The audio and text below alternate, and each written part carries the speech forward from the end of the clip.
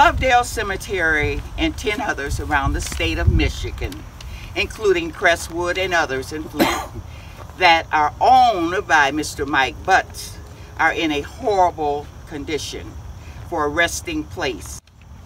Memorial Day, I came out to put flowers on my parents' grave. As usual, the road was muddy and holes everywhere. I got out at the usual place to walk and find the graves.